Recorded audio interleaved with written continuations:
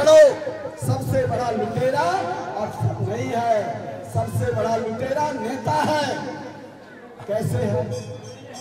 एक उदाहरण के साथ मैं अपनी बात करूँगा जब मैं बीएड कॉलेज में एडमिशन के लिए जा रहा था, मेरे बाबा ने गेहूँ बेचा था। वो गेहूँ सत्तर रुपये क्विंटल था। उन्नीस सौ पचहत्तर में गेहूँ सत्तर रुपये क्विंटल था। आज गेहूँ चौदह सौ रुपये क्विंटल है। बीस गुना बढ़ा है, लेकिन नेता लोगों का वेतन तीन सौ गुना बढ़ा है। बोलो पूछो। हमने संसद में प्रतिकार किया, हम विधान परिषद में प्रतिकार किया। तीन सौ गुना पचहत्तर से लेके आज तक, पचहत्तर से लेके आज तक। बीस गुना किसानों का बढ़ा है, डेढ़ गुना कर दो सौ गुना करो, सौ गुना कम से कम करो। यदि विधायक का, ऑफिसर का वेतन मान तीन सौ गुना बढ़ा है तो इसको जीने के लिए सौ गुना यानी साढ़े सात हज़ार रुपये क्विंटल गेहूँ का दाम होना चाहिए। कोई भीख नहीं मांगेगा किसान। इसका दाम दो बाज़ार के हिसाब से। राजनीतिक अवमूल्यन के खिलाफ किसी को न मजदूर को न किसान को। मकान बनाने के लिए भीख नहीं मांगना पड़ेगा। है लेकिन एक साजिश के तहत किसान और मजदूरों के बीच झगड़ा हो। रहा है अरुण कुमार जिंदाबाद। अरुण कुमार जिंदाबाद। लेकिन मैं इसकी परवाह नहीं करता। मैं यहाँ का सांसद नहीं था फिर भी पूरा हॉल्ट हमने कराया था। सौ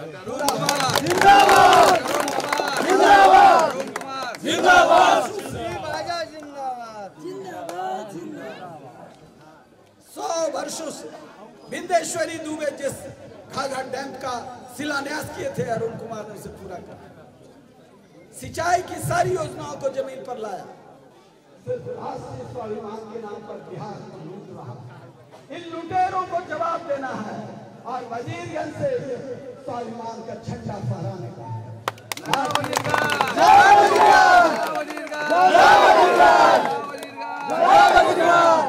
हमने इसलिए कैंडिडेट के रूप में चित्रंजन को चुना।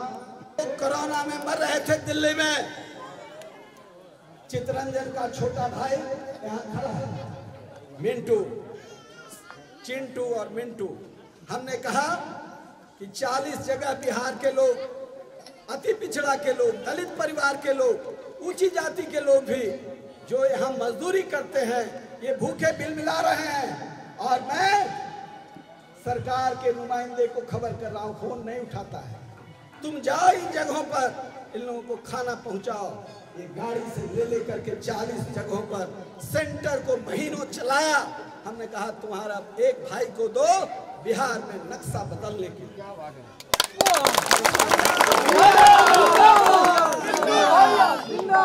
ये काम करके कहने वाला भी नहीं। यहाँ इसने कहा भैया एक पुल है जो बहुत दिनों से पड़ा हुआ है। तीस साल से। पड़ा हुआ है। हमने कहा हम उद्घाटन करने नहीं आएँगे।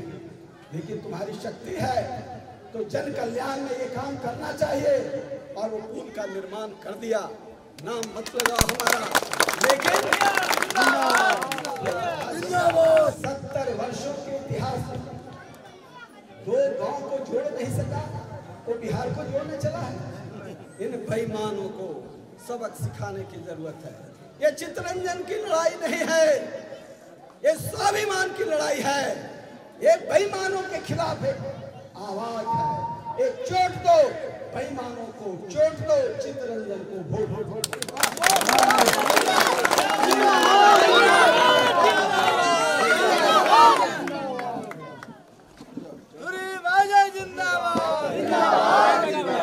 बेईमानों को चोट दो बेईमानों को चोट दो अरुण कुमार जिंदाबाद जिंदाबाद जिंदाबाद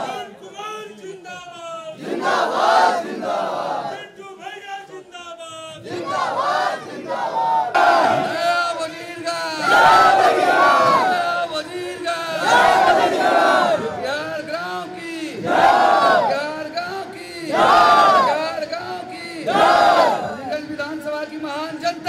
विधानसभा की महान जनता की विधानसभा की महान जनता की सीधे रूप से अपनी बात रखना चाहता हूँ। माताएँ, बहनें, युवा साथी, अभिभावक एवं छोटे बच्चों, आपके गाँव में मैं कई सालों से घूम रहा हूँ, मैं आपके गाँव का बेटा हूँ। देवी माता का मंदिर है। और इस मंदिर से यह घोष हो रहा है कि अब नया वजीरगंज बनना चाहिए नया वजीरगंज का निर्माण तभी संभव है, मेरे युवा साथियों, जब आपके गाँव का विकास होगा तो नए वजीरगंज के निर्माण को कोई रोक नहीं सकता। जब गाँव का विकास होगा, तभी राज्य का विकास संभव है, और राज्य का विकास होगा तो देश का विकास संभव है। ऐसा नहीं है तो विकास आधारहीन है। इसलिए गाँव के विकास के लिए, खेत खलिहानों के उत्थान के लिए, युवाओं के पलायन को रोकने के लिए, युवाओं के रोज़गार के लिए हमको एकत्रित होकर के और नेशनल और इंटरनेशनल पार्टी के टिकटार्थियों को बेटिकट करना पड़ेगा। ये क्षमता आप में है और ये हम करके रहेंगे इस बार। पूरे बिहार को आईना दिखा रहा है। आज वजीरगंज पूरे बिहार में चर्चा का विषय बना हुआ है कि वहाँ एक लड़का है, चिंटू भैया नाम का। बड़े बड़े धुरंधरों को बुलाया था, आप जानते हैं वजीरगंज महाप्रा कॉलेज के प्रांगण में हमने दोनों को बुलाया था। कि आपने पाँच पाँच साल दस साल लिया, हमारा बहुमूल्य समय लिया, और उसमें आपने जो काम किया है, जनता को बता दीजिए, हम मैदान में नहीं आएँगे। लेकिन आप सब जानते हैं, सभी अभिभावक जानते हैं सभी युवा खिलाड़ी जानते हैं जब सामने वाली टीम नहीं आती है तो प्रेजेंट टीम को बात ओवर दे दिया जाता है। तो हमारे सामने तो है ही नहीं लड़ाई में। इसलिए वजीरगंज के निर्माण के लिए सभी साथियों, लग जाइए और इस बार यकीन कीजिए वजीरगंज का नक्शा अगर नहीं बदल गया तो चितरंजन कुमार और चिंटू भैया डॉक्टर कुमार हमारे यहाँ बारह वर्ष पहले स्टील प्लांट इसी डबल इंजन की सरकार जिसको कहते हैं, हम आज के तारीख में, उसका उद्घाटन हुआ था। लेकिन आज तक उसमें एक ईंट नहीं लगी। अगर उसका निर्माण हो जाता है तो मिनिमम दस हज़ार वजीरगंज के युवाओं को रोज़गार मिलेगा और परोक्ष रूप से दस हज़ार रोज़गार और युवाओं को मिलेगा। और इससे उसको कैलकुलेट करते हैं तो मिनिमम एक लाख लोगों का परिवार चलेगा और उससे नए वजीरगंज का निर्माण होगा। मैंने गाँव में जा जाके कहा है जा, अगले पाँच साल में अगर इसका इस फैक्ट्री का धुआँ नहीं निकलता है तो अगले चुनाव में चिंटू भैया नॉमिनेशन नहीं।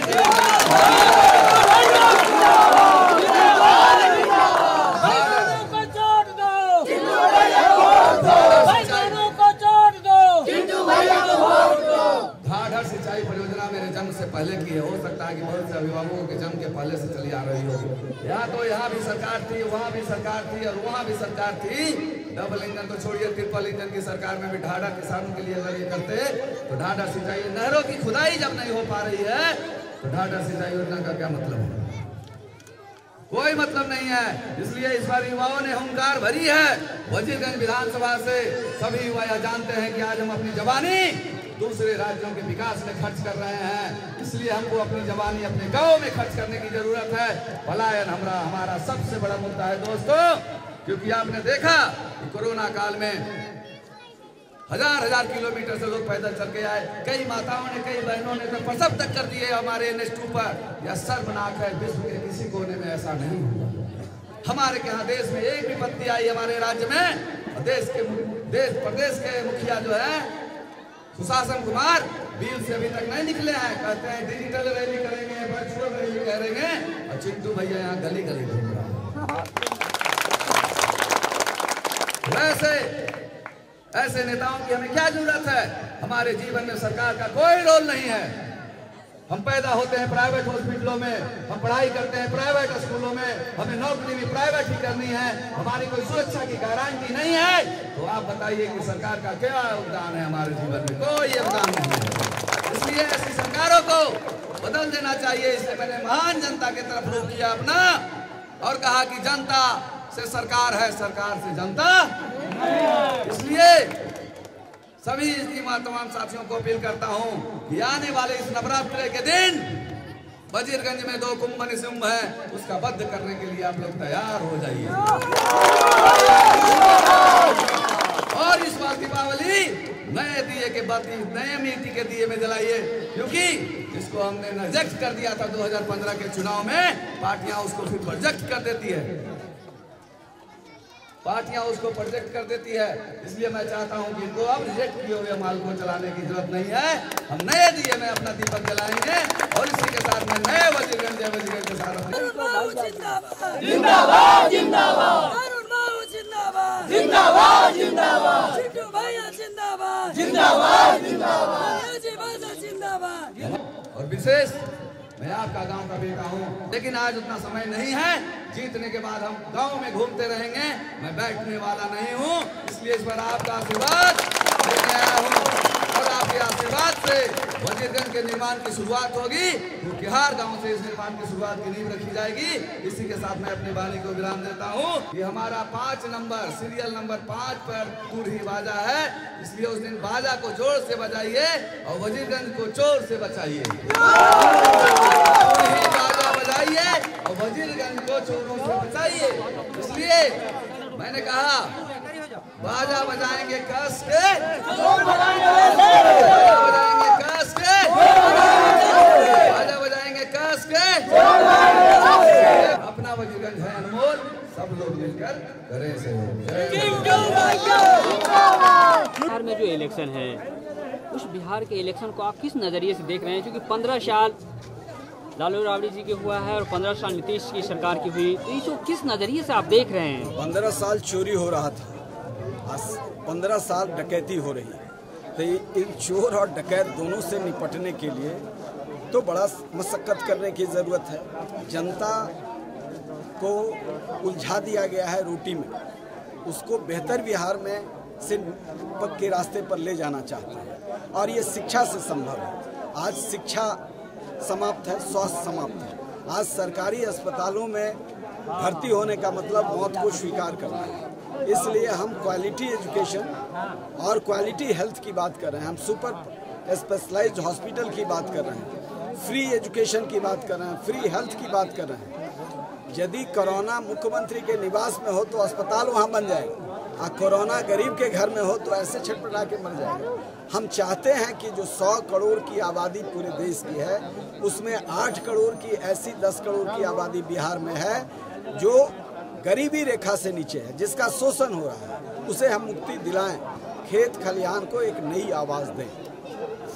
अब ये जंगल राज या मंगल राज, आप इसको बिहार में जो इलेक्शन इसे किस रूप में देख रहे हैं आप? ये जंगल राज और मंगल राज है, ये राक्षस राज है। जहाँ यतीम परिवार की बालिकाएँ मुजफ्फरपुर बालिका गृह कांड में, उनके साथ यौन शोषण ही नहीं हुआ, बल्कि उनके प्राइवेट पार्ट्स उनके ऑर्गन्स निकाल के बेचे गए। वहाँ उस अस्पताल, उस आवास में ऑपरेशन थिएटर पकड़ा गया और सिर्फ़ ब्रजेश ठाकुर इसमें पकड़े गए। इसमें जो नेता लोग इन्वॉल्व थे वो सब छोड़ दिए गए बचाए गए। ऐसा जहाँ अन्यायी जमात हो। कैसे चल सकता ऐसे अन्यायी जमात को यदि रक्षा करे जनता कैसे चल सकता इसलिए जीवन दुभर हो गया हम उस संघर्ष की सब पीछे सर बिहार की राजनीति जो है उसमें अपराध की की जो पकड़ है इस पर क्या बोलना आप आइए। शिक्षक अपमानित हुए हैं। समाज सामाजिक सत्ता और राजनीतिक सत्ता को शिक्षकों को सम्मान वापस दिलाना है। चाणक्य का चलेगा तभी चंद्रगुप्त पैदा होगा। चाणक्य का नहीं चलेगा तो घनानंद पैदा होगा। आपके कैंडिडेट यहाँ हैं चित्रंजन कुमार चिंटू भैया उनके लिए क्या आशीर्वाद देंगे? आशीर्वाद नहीं चित्रंजन कुमार का मतलब अरुण कुमार है आशीर्वाद देने का। चित्रंजन कुमार वो करेंगे जो संकल्प अरुण कुमार के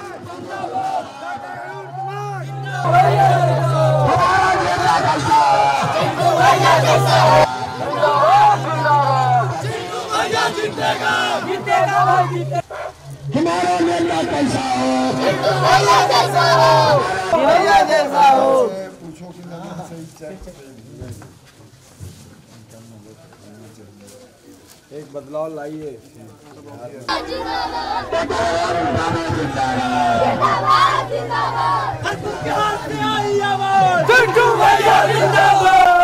छाप जिंदाबाद। दूरी छाप जिंदाबाद। जिंदाबाद जिंदाबाद दूरी छाप जिंदाबाद जिंदाबाद जिंदाबाद बिहार से आई आवाज़ बिहार से आई आवाज़ ज़रूरी है है पाँच नंबर पे दूरी है।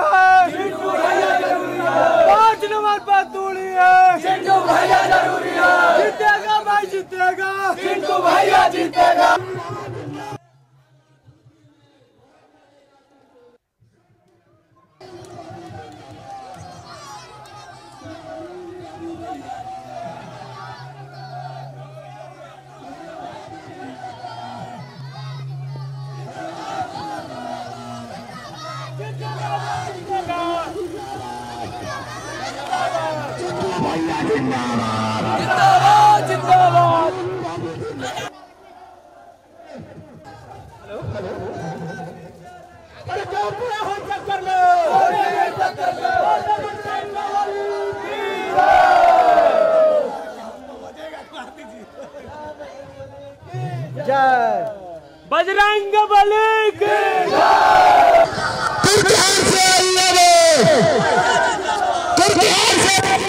我们这就完的，就这。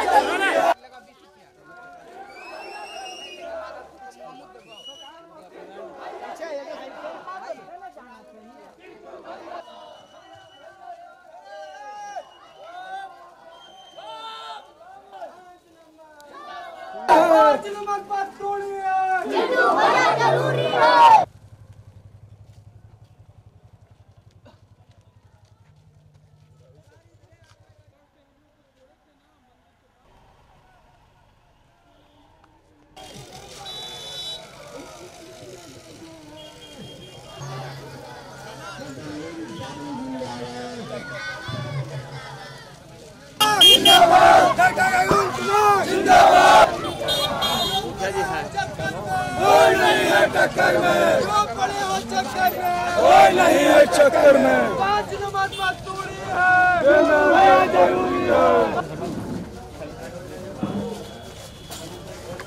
है बैठ बैठ सा है जगह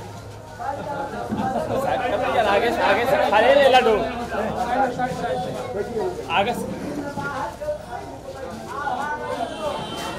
है थोड़ा आगे आगे जी खा छोड़ दीजिए हवा तो मनोज जी के साथ उस समय हम लोग भी साथ अरे पैसे जैसे बराबर तो उनको चाहे बिहार शरीफ का चुनाव रहे चाहे दूसरी बिहार रहे यहाँ पूरा रास्ता किया है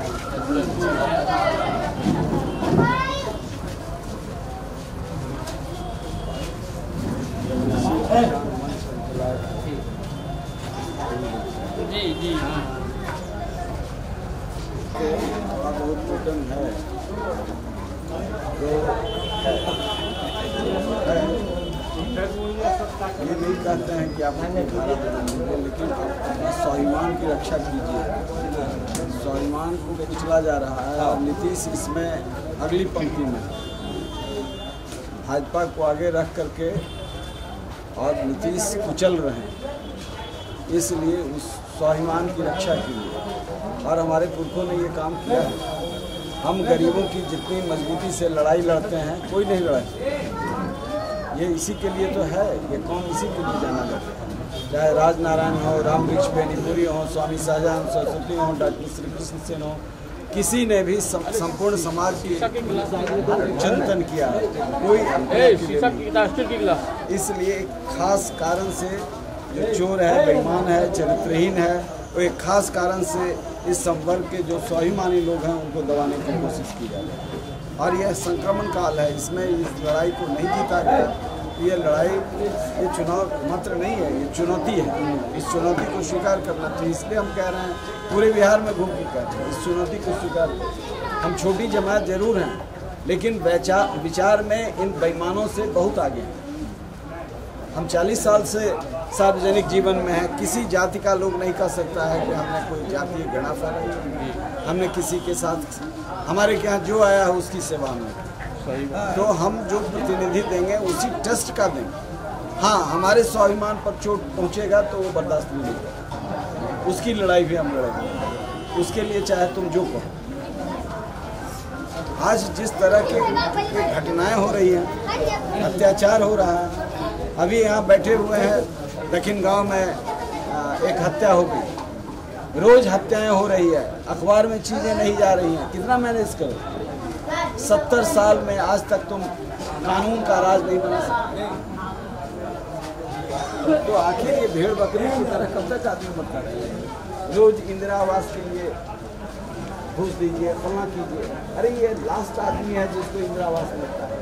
अपना मकान नहीं बना सकता। तो ये सारी चीज़ें ऐसी है और ये सब के पीछे एक कारण है राजनीतिक भ्रष्टाचार। राजनीति में जितने लोग आ रहे हैं बड़े बड़े भ्रष्टाचार। अभी ये विकास की बात कर रहे हैं, साढ़े तीन सौ करोड़ रुपया की योजना हम पूरा, हम थे नीतीश कुमार जी उस समय पूरा हॉल्ट बनवाया था, यहाँ पर आकर के हमने उद्घाटन कराया था। अभी हमने जेठियन वजीरगंज रेलवे लाइन का ये करा दिया। साढ़े तीन सौ करोड़ रुपया सुरेश प्रभु थे सैंक्शन कराया दशरथ मांझी के गाँव से होते हुए। अब उसको ये लोग विरोध करके रुकवाए हुए हैं। चुनाव हार गए, उसके बाद रुकवाए हुए बड़ा विकास पुरुष का था। इन लोगों को, बेईमानों को कमीशन खाली चाहिए। इसलिए लड़ाई ये स्वाभिमान की है। इस लड़ाई को लड़ना आवश्यक है। आज देखिए, पूरे देश में सब जगह एफसीआई धान खरीद करता है। बिहार में नहीं खरीदता है। बिचौलियों के हाथ में फेंक दिया है। लूट रहा है किसानों। धान का दाम है अठारह सौ, बिक रहा है चौदह सौ, बारह सौ, तेरह सौ।